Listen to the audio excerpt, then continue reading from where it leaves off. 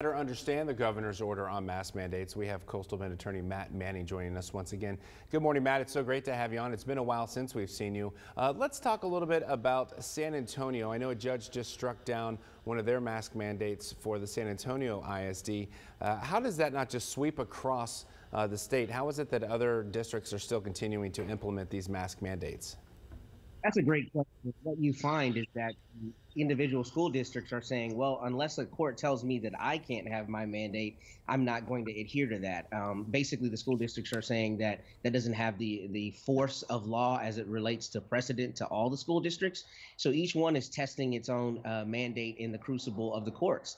And what you find is that the AG has not brought suit against every school district, but against select few across the state. Um, I think kind of to figure out which forum will allow mandates and which forum will, won't allow those mandates. Yeah, we've seen different uh, school districts across the state uh, addressing their dress code in order to implement these mask mandates. You and Barbie previously talked about uh, children with special needs. They're able to use that to better children's health. Uh, but the argument's back and forth, and we know parents are also filing suit and winning in some cases, and I believe that was the case in San Antonio. Uh, as a lawyer yourself, how do you look at this? Is this something that you'd love to be involved in and, and trying to explain to a judge why, you know, a governor does, shouldn't be able to set health precedents when you have a national vaccine mandate that's underway right now? Uh, and most likely uh, another mask mandate could come. I mean, if the cases get worse, we're over 600,000 deaths already in children. Their cases of COVID and hospitalizations are going through the roof right now.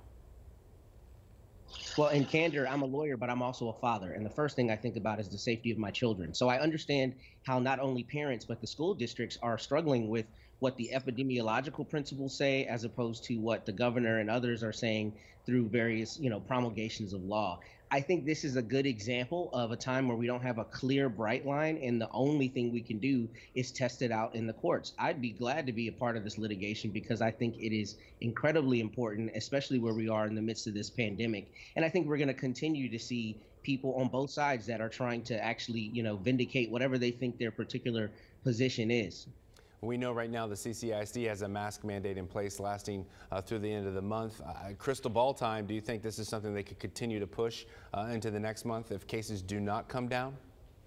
I think they will, and I think that they will have the justification of we're following scientific principles. Uh, we understand the governor's position, but we're not going to adhere to the law. And frankly, the TEA is not promulgating this, and the governor in in filings has said that he doesn't believe he has the right to enforce the law that local DAs do. So I think we're really going to have to see how this shakes out in the courts, but I anticipate people will be taking it to court to uh, you know vindicate their rights. Okay, it sounds like one that's more political and not based on science.